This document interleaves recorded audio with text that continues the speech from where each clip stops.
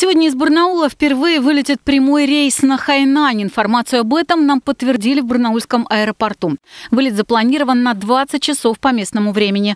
Напомним, намерение запустить прямые вылеты из нескольких сибирских городов, в том числе из Барнаула, у китайского туроператора «Жемчужная страна» было еще три месяца назад. Четыре раза эти вылеты откладывались, и вот сегодня долгожданный полет наконец состоится.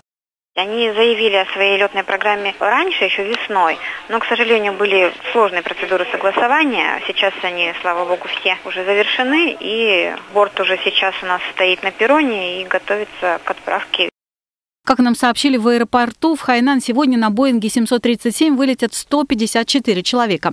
Следующий рейс из Барнаула должен отправиться через 10 дней. К слову, ближайшие три месяца рейсы будут чартерными, в дальнейшем их планируют сделать регулярными.